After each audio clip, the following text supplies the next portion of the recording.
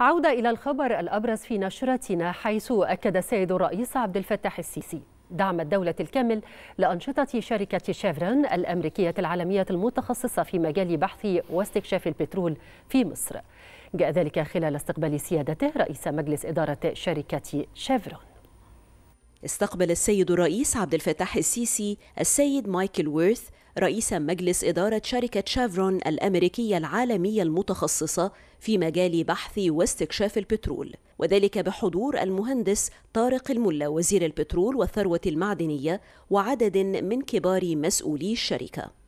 وصرح المتحدث الرسمي باسم رئاسة الجمهورية بأن السيد الرئيس أكد دعم الدولة الكامل لأنشطة شركة شيفرون في مصر خاصة في مجال البحث والاستكشاف والإنتاج وذلك لما للشركة من خبرات عريقة في أنشطة ومجالات صناعة البترول والغاز عالمياً.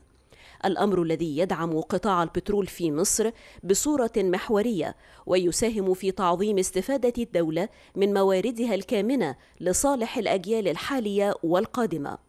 وذلك في إطار عمق علاقات التعاون والشراكة الاستراتيجية الممتدة بين مصر والولايات المتحدة في جميع المجالات.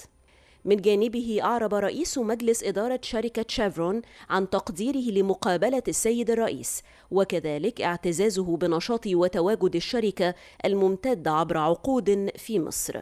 مؤكدا حرص الشركة على تطوير شراكة استراتيجية مع مصر وذلك في ضوء ما حققته مصر تحت قيادة السيد الرئيس على صعيد النمو الاقتصادي والطفرة التنموية الملموسة التي تشهدها البلاد.